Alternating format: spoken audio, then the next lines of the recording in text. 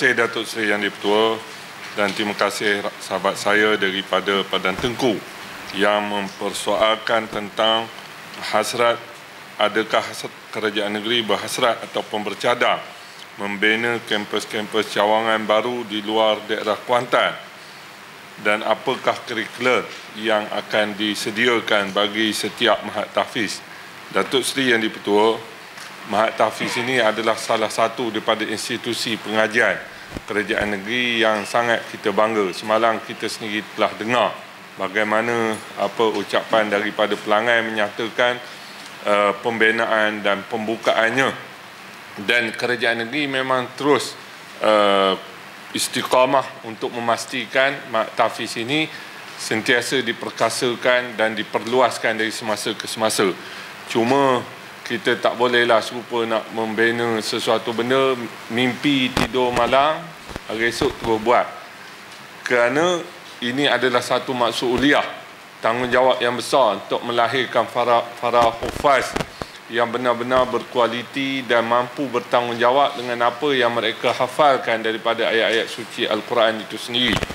Dan ini juga uh, satu kerja yang sangat besar dan berat tanggungjawabnya kepada kita. Kita kena fikir daripada segenap sudut.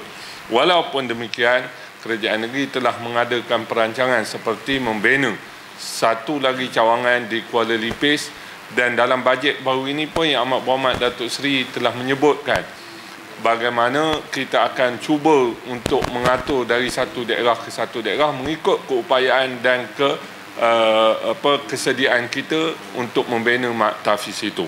Adapun dari sudut kurikulum di kita ada tiga bentuk mahat tafiz ni Datuk Seri yang dipertua. Yang pertama sekali dinamakan mahat tafiz profesional. Di sini kita mengajar anak-anak kita hafal Al-Quran dan dalam waktu yang sama mereka akan mengikuti kurikulum arus perdana.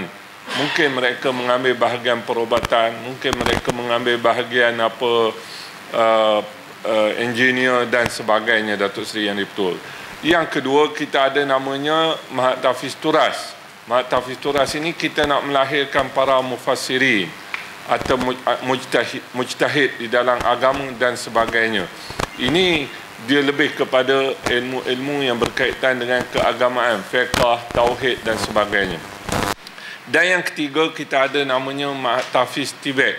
Di sini kita menawarkan pelajar-pelajar untuk mengikuti kelas tahfiz.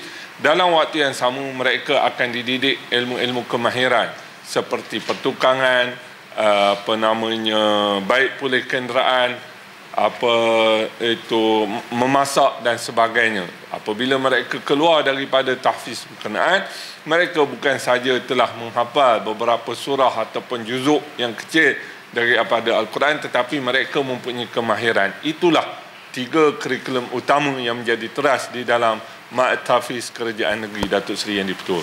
Soalan tambahan